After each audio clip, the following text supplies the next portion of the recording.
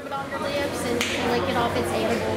You You made this yourself? She did, yeah. Oh. This one too? She made, yeah, she made bracelets and she sold this on like I guess we're gonna have to eat some chocolate. I don't know how we messed that up. What's inside of these? Coconut? Uh, oats, Oreo. Republicans. Hopefully you don't hate Republicans.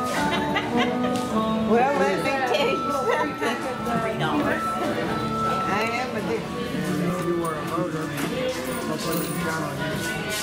Thank you. Thank you. Okay. And I want to give you my card here. We're looking for undecided voters here. All right. And if you're one, then pick that guy right there. I will. anyway, when you think it's down I never go around.